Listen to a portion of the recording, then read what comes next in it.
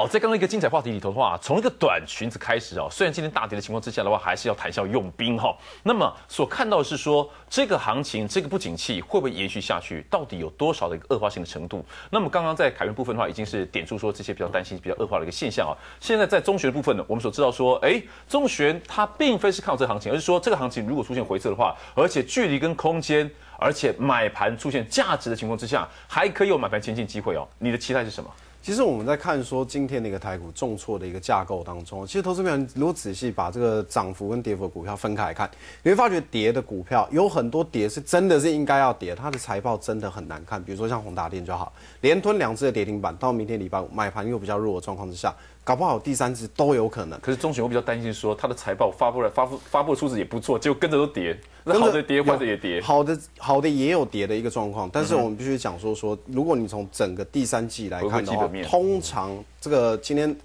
九月份开出来成绩不错的，哎第三季。通常整季加起来一定表现都比较差，它才会跟着一起做下跌的一个动作。比如说像是在整个人保或伪装，这个 NB 代工族群身上，我们看到九月份营收都已经开始逆势走成长的一个阶段，但是没有办法，十月份要公布第三季季报啊，一开出来的话，哇，这个开出来不能看呐。哦，前面这个七月八月出货。对衰退的一个情形，到现在来算总账，所以股价就开始往下做跳水的一个动作。但是投资朋友你要去展望到说未来第四季的一个层面上面，第四季上面再下有 Windows 八，还有很多公司有接到特定的一个平板的订单，好业绩营收还是相当的一个不错。比如说像四九三八的合作就好，哎，今天股价一样有放逆势稳住，持续往上攻。为什么？九月份营收创下历史以来的新高。那其实我们在看哦，投资朋友来到这个地方，你在选股票的时候，大盘即便在滑落的过程当中。不要忘了，这次外资买相当多，有很多避险的基金。事实上，他们一样在台面上一直在追求所谓绩优的一些个股，在做布局。比如像我们今天看到说，哎，在联发科的一个部分。好，中选到这边的话，其实我们也担心是说，提到外资圈哦，外资圈没错，它现货部分看起来站在买方位思考，可是，在期货部分呢，已经是转空了八百四十口哦。今天的受理，我们马选哥都各位的报告这里哈。可是呢，这话题的开始的话，也牵涉到一点哈，来看到两两张的一个内容哦。这两两张内容呢，来看一下欧银抛售。四点五兆的美元资产来看一下，这个压力会不会很大哈？包含什么呢？IMF 的事情说全球金融是稳定的，只不过风险在不断的上升当中，导致信心处于非常的脆弱。决策遏制危机承诺，如果跳票的话，欧银恐怕得抛售四点五兆美元的资产。另外一点来看一下哈，南韩央行宣布降息一码。这个宣布降息一码这样的动作的话，就像护盘一样哦，是不是因为危机警讯都存在，包含在我们国内部分的话，一而再再而三积极的、及时的希望做到那个有感的一个付诸力道和紧急刺激的一个动作。基于国内经济疲弱不振哈，而且全球经济展望低迷，调降基准利率一码到二点七五个百分点，幅度普遍符合市场的预期，而且自七月起到现在已经第二度的降息哈。来，副总。期货部分已经转为空单哈，来马上也要秀一下哈，在今天期货操作操作上的一个动向列况化的。呃，我想其实上礼拜我们呃来节目的时候就已经提到，就是其实啊，我们可以那大家都可以看到说，哎，之前这个外资的现货是一直在买买超了哈，可是为什么这个期货的台子期的多单呢一直停滞不前？哦，所以跟以往不一样啊，以往真正的是走多的时候，外资买现货的同时，它一定会呃同步的买进的期货多单，而且是持续的增加。也就是说，会达到达到什么？它现货赚，它期货的也要赚。可这次比较特别，就是说，行情在往上拉的过程之中，它的台子期的多单没有增加，反而是逢高在做一个调节。另外一个部分呢，上礼拜我们也提到，就是说，在这个摩根的未平仓爆出了二十万口以上的相对的大量，这个就是一个很大的警讯。各位把时间回推到今年的这个三月份的时候，三月份的时候在八千一、八千二，这个行情在这边的时候呢，外资的这个。我们所说的这个呃摩根的未平仓的这个进口数了，也是爆出了二十万口以上的大量。副总补充一下哈，外资宣今台子期空单大增哦，加空六千口，五千九百九十九口哦，这个动作也非比寻常。哦，这个动作那么大呢，我就会更加的担心了。就是说，当然今天指数的时候回撤到这个季线，大家知道说季线就是中多一个支撑了。一般来讲，季线呢它不不容易一次破，但是我们也不要排除说它真正的就这明天或者这个最最近期。就往下持续破，把这个中多的格局也打坏了。因为我们看到说，今天外资的动作又这么大的将它的部位做一个加空，代表什么？它可能也在做一个呃我们所说的呃资金的这个撤移或转换。因为我们刚才我们刚才所说的，就是说呃我们之前提到说，这次 Q E 三它它的实施，它进一步引导了这个美元走弱，结果这亚洲货币又升值嘛。那亚洲出口已经不好了，出口已经不好了，这些央行呢这头摸了修怎么办？台币呢一直升值，或者韩元一直升值，这些出口国家都很很惨。所以你看呢，韩国今天采取的降息的手册嘛，双率政策嘛，你汇率没办法救，那你只能去救利率啊。就是用降降降利率来来去做做这样。副总说到这边的话，其实我们在副总的部分的话，他不只是期货分析师，也是证券盘分析师哈。来看一下哈，电子股弱势测的季线哦，各外资看法，后市上的看法到底一样要垮哈？来垮这里哈？瑞信预估台达电第四季的话，营收拉回幅度比较大。麦格里也村接调降目标价获利了结，针对台达电部分，今天吞了一根跌停板。台达电仅归刚刚跟你发力多少年呢？干不下呢？台达电的部分呢，股价表现差异这么大吗？再看一点，美林开枪大降哈，台积电平等到列于大盘表现，瑞信接力。调降平等到中立哈，北比也是有过高的疑虑哦。针对台积电，哪怕你只是台达电脑，连台积电马西港快野村看空，宏达电第三季跟九月份营收会令市场失望，市场拉货不如预期，产品或研发无亮点。跌零基更是跌停板，宏达电看下去，外资看正威营收连三个月创下新高，还是不够好，未达美林跟巴克莱的预估值，后市还是备受关注。哎，正威成长力道也不小哎，什么叫做好？成长力道还不小情况之下，什么叫做好吗？巴克来看淡本季 PC 的出货量，Win 八的需求不明，新机延后推出哈，iPhone 五平板分时的商机后来这款的 Win 八也好，Ultrabook 也好，iPhone 五也好，iPhone 五基本上连苹果自身会不会难保哈？现在所担心的是一个危机跟警讯哈。所有的科技产业里头，宏达电啊、台积电啊。甚至在台拉电啊、正威啦，甚至在红准部分，当然这股价看起来相对偏弱哈，而且营收数字的话是一个比较大幅度成长。那么什么叫做好？还可以期待在哪一些身上？副总，你刚刚所提到的哦是从这个期货角度出发，您也是在现货这样的证券分析师哈，所看到电子股这个弱势哦，投资大中重量级的比重就放在科技类股身上，还能够期待呢？嗯，我想电子股哈，在这个九月份营收公布之后呢，下一个要担心的就是它这个季报的一个公布了哈。因为我们知道说台币从三十点二升值到这个二九点二多了哈，所以大概升值的这个三个 percent，所以我觉得现在的股价慢慢在反映接下来的季报的一个一个产生。这个季报呢，就是说这个在汇损的部分呢，呃，可能就会慢慢的一个呃一个一个揭露了哈。那这个揭露部分就要就要特别小心了，因为真正到时候这个财报冒出来哈，有时候真的会让人家吓一跳。那第四季来看的话，就是我们再看这个呃看起来并没有说特别的一个呃杀手级的一个产品来来产生啊。iPhone 五的这个雷声大雨点雨点小哈，那 Win 八的部分这个需求看起来也不是很明确。那上礼拜我们也说了，这个 NB 换机潮，我说我 NB 换这个我自己的这个 Notebook 用了四五年了，都还没有换哈，所以这种换机潮的这种的的效应，我觉得还也还是要打打上一个比较大的一个问号。所以电子部分呢，我们我我们建议还是比较比较保守了哈。那比较安全的，可能在在这个金融或者是呃船产的。好，这是副总的谈话哈，凯源，我们刚刚所提到说，在科技产业部分担心是一个压力，而且借券放空的部分的话，包含现阶段的空单部分的话，高达四百一十万张这个空单这样的一个动作哈，担心压力会很大吗？在你谈话之前，我们再来看一下九月份的营收不如市场所预期哦，电子的旺季恐怕是一个不旺的情况。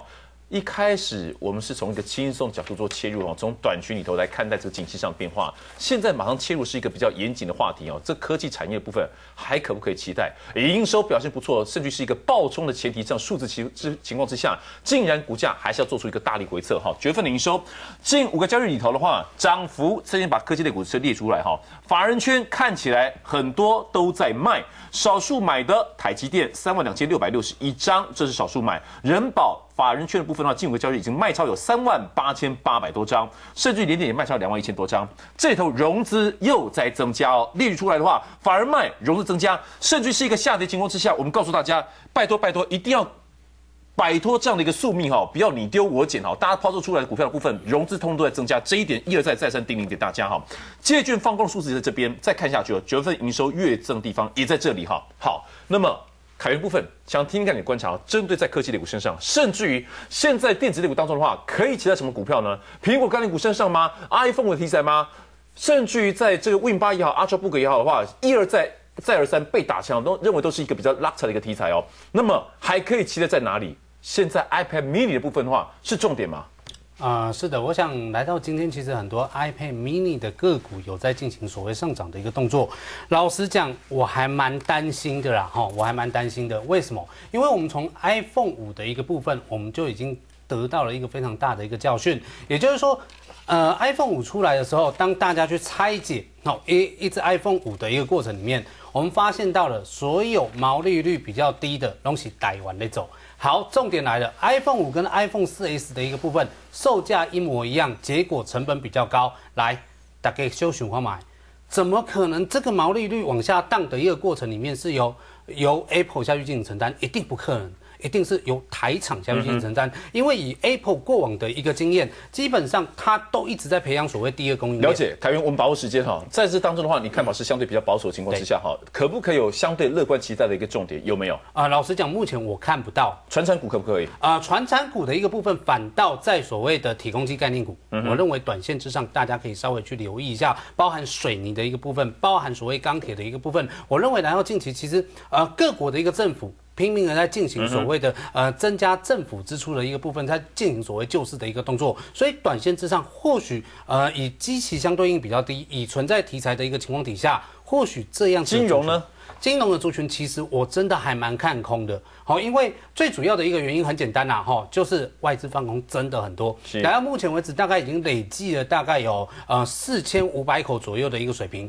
如果用一比五的一个换算比率，它至少。光光空单的一个部分就已经占了两万口以上的一个水平，等于说来到目前为止，外资根本拼命在放空金融，大家为什么要跟他作对？好，凯源，你刚刚大前提针对国际上的看法，或国针对指数部分的话，是一个比较看法保守阶段。电子大军你也看保守，金融股也是一个看空情况之下，你的铁公鸡真的有用吗？呃，我认为啊，或许力道会比较少，但是至少就风险性的程度，因为它比较抗跌，它今年以来都没什么动嘛，它没有什么动的一个情况底下，基本上它能够跌的幅度，我认为也会相对应比较少，大家能够去掌握的一个防守点也会比较好下去进行掌握。所以从极短线来看，我认为呃，与其去追追逐那些所谓高基期的，大家还倒不如去布局一些比较低基期的一些个股。好。在刚刚前面，在从中选一些这个凯源部分跟副总观察当中的话，是在偏保守的一个角度来看待哈。那么中选部分的话，你这个多方的其他部分的话，你把重心放在哪里？刚刚所看到在科技类股身上，不管是空单的张数也好，期权放空这个张数也好的话，甚至外资圈做多的企图，他天下看到这受力啊哈，到底买盘部分还能不能积极前进？可是呢，先看到它的空单今天一口气增加五千九百九十九口，加起来已经超过六千口，够来嘞。其实我觉得等一下三点左右要公布的这个三大法人买卖超的部分将会是一个重点哦。其实今天它这边放空这么多，我们必须讲说说，确实这个趋势来到这个地方可能会出现比较大的一个疑虑，尤其是今天要破季线。但是我们会建议说，投资朋友如果说面对到这个行情急速的一个拉回过程里面，我们建议说你还是要尽量去找寻一些绩优生，未来第四季有机会营收持续月增长的个股来做布局。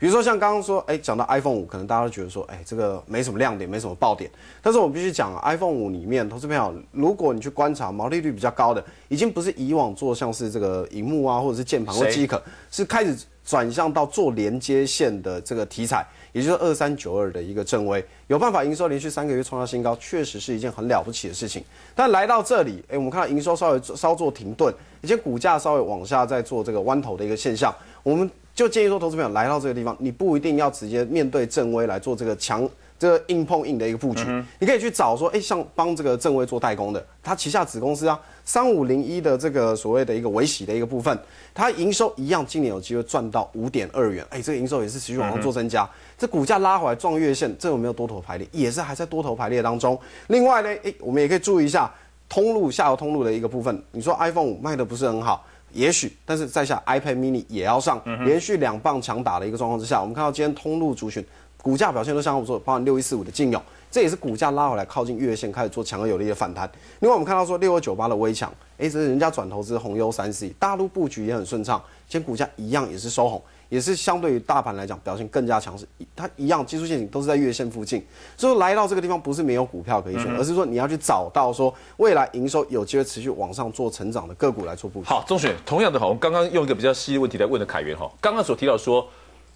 如果大前提从国际股市上变化，包含在电子大区部分，包含在金融类股身上，如果全面都是一个保守甚至看保留的情况之下的话，你的这些少数的个别题材，甚至子公司，甚至小型公司具备爆发力公司的话，这个买盘还能够继续前进吗？那么投资上的眼光所所着力的一个重点，看的是短线就有爆发力，还是说趁着利空测试大跌，或者是买盘可以有浮现价值情况之下，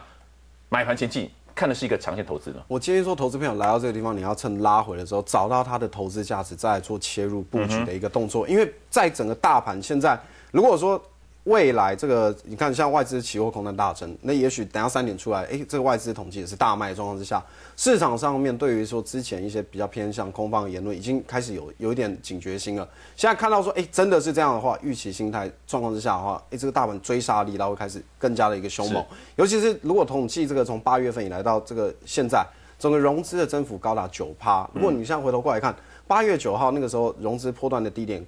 当时的一个台股价位在七千四百三十三点，跟下一比一模一样，但是融资增加九趴，这些余额如果到时候也是啊失望性卖压反手倒出来，是。台股还有持续往下，也是压力的一种。对，好，非常谢谢三位，我们准备要先休息一下，休息一下回到节目现场继续锁定这个赚大钱擂台秀哦。赚大钱擂台秀这个礼拜推出以来的话，开始哦，前两天开始的话，空单进场伺候的机会，今天当然看起来就吃下这个定心丸了哈。所以呢，我们一开始还是从这个短裙的话题开始哈，就是说转换一个心情，对于眼光，对于这个看法，应该是要更犀利，但是你准备的功课应该更卯足全力来做。休息一下，再回到节目现场。